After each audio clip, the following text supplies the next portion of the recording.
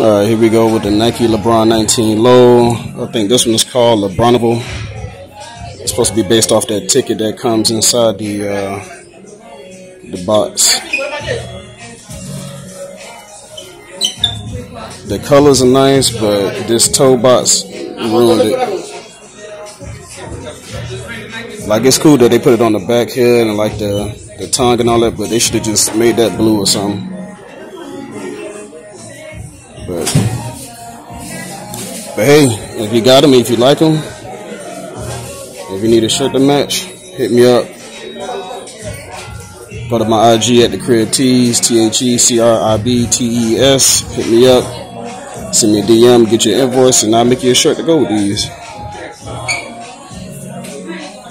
But me personally, nah. Again, I like the colors that they use, but they overdid it with that toe box. 你好，斑马。